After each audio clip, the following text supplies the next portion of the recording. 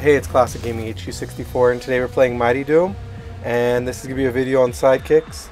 On Instagram on Mighty Doom they posted a cool little clip that I'm about to show right here.